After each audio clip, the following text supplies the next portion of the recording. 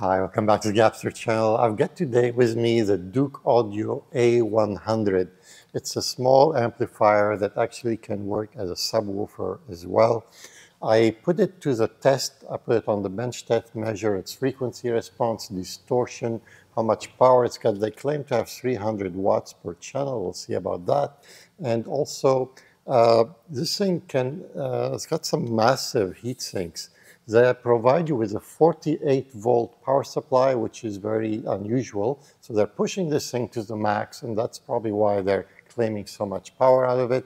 And uh, what I really love about this uh, A100 is that you can use it, like I said, as a subwoofer amplifier.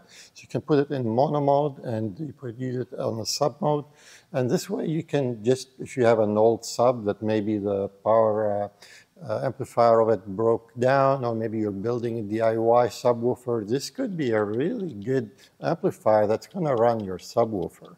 And guess what? This is actually 200 US dollars, but right now they have a coupon for 50% off. I was told that they're really excited about this product and they think this is quite uh, an achievement for them. And they're really pushing it. So they're actually for a short while they're offering a 50% discount. I've never seen them offer that much discount. So you can get this for a hundred dollars. And you'll be amazed what you can get. Like uh, when i opened it up this thing is heavy. Like uh, it's got some it's very well built. It's got some decent specs. And you know for a hundred bucks delivered like wow. Like i don't know how they can do that I'm trying to keep everybody included on my channel. I have different price points of things, so not everybody can afford the big expensive stuff. Or maybe someone just wants to run a subwoofer and they just want some small amplifier, and that could be the trick to do that.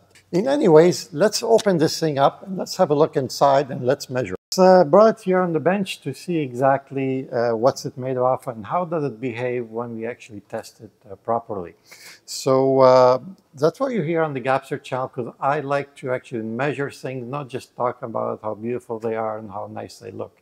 So let's see exactly how does this thing measure up.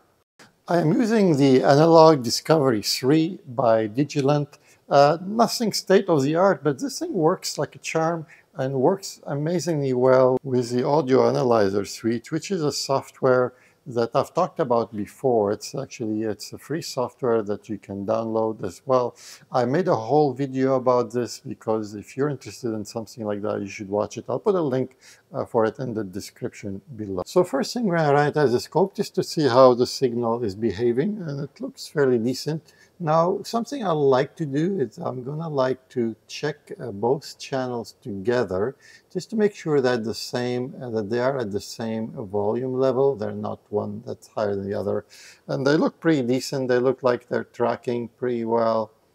Uh, when I put the volume a bit down, there's just a tiny bit of a difference, but not much. And then it's actually tracks fairly well after that. My resistors are only rated at 100 watts and they're like super, super hot. So I had to wrap them with some uh, moist, uh, cold uh, towels because I don't have 300 watt resistors. So we're gonna have to run this thing at short little periods of time. Next thing we're gonna do is we're gonna go and check out the frequency response and we're just gonna see how that tracks throughout the spectrum. So press run here and just gonna start plotting. The idea is you want to get as, as a line as flat as possible so you don't have like a dip into frequencies and, and, and so forth. I'm just going to zoom in on that while this is plotting. So far it's very, very straight. That's pretty, pretty good actually. That's really good. Uh, it's fairly flat all the way till it's about 14K or so. And then from 14K, there's a tiny, tiny bit of, uh, I would say that's nothing. That's like half a dB, uh, it's a little bit up. That's pretty much uh, nothing. So I would say this is an excellent frequency response. It's fairly flat. Uh, I've seen way worse than that in most of the time. So to get to this level, that's pretty decent, I would say. Next thing we're going to do is we're going to check the harmonic distortion versus power. So let's do that test and see how that behaves. So far our distortion is staying below uh, 0.2. We are at basically don't worry about that that's just uh, when the, the instrument is actually switching between frequencies it does that sometimes but so far we're, we're at 15 watts. We're at 0.05%, 50 watts, uh, all the way to 100 watts. I'm just going to stop it at that. And uh, so let's have a quick look at this, let's zoom in on this, uh, this graph here. Like I said, uh, don't worry about that little up and down. The main thing is basically those numbers here. So basically at 100 watts, we got to 0.1% distortion. And if we just move along and uh, let's go to 50 watts, that's like a good at 50 watt, we have 0.07% and keeps going, going. Only when you get to almost 100 watt, 90 watts, still at 0.09. At 100 watts, this is when it got to 0.1. So it's fairly decent. You know, this is still a, this is a class D amp, so that's fairly decent for, for what it is. I, I say it's fairly uh, decent uh, distortion numbers. The fact that you, yeah, most of the time you're not going to run it more than a 50 watt level. So at that, you're basically, even like say 75 watts, you're at 0.08. So that's, that's fairly decent.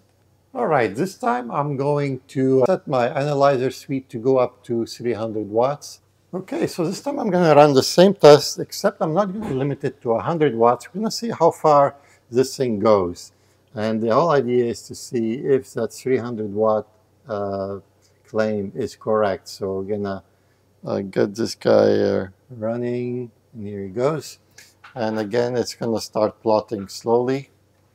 And uh, we're just gonna keep an eye basically on those numbers right here. So at the beginning now, it's still running around, uh, this is low wattage still. It's going to get interesting to see after the 100 watts uh, what's actually usable uh, after that. Again, don't worry about that blip here. It's just changing frequencies. Again, the focus should still be around here. So we're at 8 watts, it's 0.03%. 20 watts, 0.05%. 50 watts 0.07 100 watts 0.1 so okay so here you go this it, it stopped at uh, so we got to 10% of distortion really yeah basically after that it's garbage you don't want to listen to that so realistically we have 140 watts of power and you know, that's pretty decent. Again, I wouldn't want to see if 10% uh, is a lot. Uh, so let's bring it down to where maybe like 2, 1%. Okay. So 120. So at 111 watts, it's 0.5%. And after the 120 watts, you're getting to 2%. So realistically, it's 100 watt per channel. If you want to keep your distortions low, the maximum, I would say it's 120 watts per channel, I would say, something like that. So that's probably what I would uh, realistically rate it. Now, don't get hung up. You really don't need that much power. Even if you're getting 120 watts, that's a lot because uh, you really don't need more than that. Taking this thing apart was not an easy task. I had to really, some of the screws were extremely hard and it looks like I have to take all these knobs out. So there's one. And then on top of that, you've got screws here. So we have to unscrew those four so we can get this thing to loosen up. There we go. There we go. Now we're going to push it through. Okay, just go gently here. That's it. Let's see what we got here. Oh, that's pretty good. That's exposed pretty much everything. So let's have a look at this thing. Uh, there's a couple op amps here that you can see, and these are, are replaceable in case you'd like to venture and, and change them and put something different. So you've got some options here to play with if you like. Uh, looks like some really, it's pretty well built. This is the uh, power supply section here and uh, the, uh, the chip is on the back. The chip is on the back, it's underneath this heatsink. It's a Texas Instrument 3255. And it's also the heatsink is attached to the case and the whole case becomes a heatsink and that's a heavy duty heatsink. I believe because they're really pushing this guy to the limit because they have him running at 48 volts. So basically you need all the heat sinks you can get to get it pushed to the limits. The op amp use that comes with are the NE5532. It's got some decent resistors. Oh, no, I'd say it's fairly decently built. I think for, I don't know how they can sell this for a $100 shipped to you. Like, I, I, that's kind of mind-boggling. How do they make profit? I have no clue. So here's the front. You can see you can run it in mono or stereo. And then you've got the frequencies. You can set them to flat, means it's just normal like a stereo amplifier. Or you can put them on a sub and now you're using the subwoofer and you can adjust the subwoofer, subwoofer frequencies and, and uh, volume and, and, so forth. This one is the auxiliary volume and basically controls the auxiliary output on the back and that's just your regular volume. If we flip it around and uh, we have a look at the back, so we can see here, we can get a better view of the heatsink that's on this uh, amplifier. Also, this is the auxiliary out I was talking about. It's like a, it's a jack kind of uh, out, output, and you can connect that, say, for example, for an active speaker if you like, or you can control another subwoofer. Uh, this is your audio input. As I said earlier, it's only one input, and it's probably one of the downfall. This is not an amplifier that you want to use it for multiple inputs. It's more for a one task, basically. And this is your speaker outputs. And that's just your DC, basically, volt. You can go from 24 to 48. They give you the 48 volt, uh, basically, power supply, and that's a really good thing. Often they don't. So you basically are running it at its maximum potential. So here you have it. It's actually overall, it's a fairly decent amplifier. So it's an amplifier that you could use it for multiple things and uh, something you can try. Uh, I'm trying to keep also on my channel things that most people can't afford, you know, the multi-thousand dollar system that we're using. So trying to keep more, uh, the whole idea is to open up for everybody to join in and to slowly build up. And as you uh, move along with life, you can build up and, and, and build something bigger and better.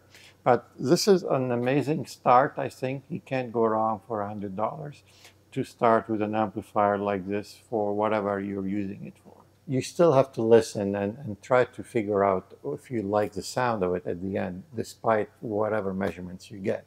So I listened to the Douk Audio A100, and it actually sounded pretty decent. You know, this is not a super hi-fi quality uh, amplifier that you're gonna run it for the rest of your life, but for the price, it's pretty decent. It has some fairly good sound.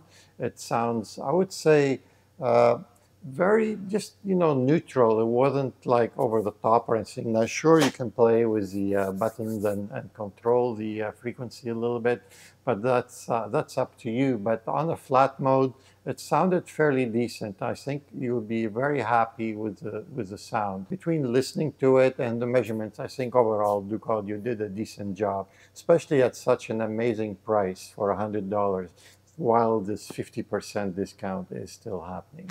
I'm going to put uh, in the corner up here a link about my recent uh, Gabster TD1 DAC that I actually launched uh, not too long ago. And in the corner here, about 10 songs that are so holographic and great imaging that you'd like to test them on your hi-fi system.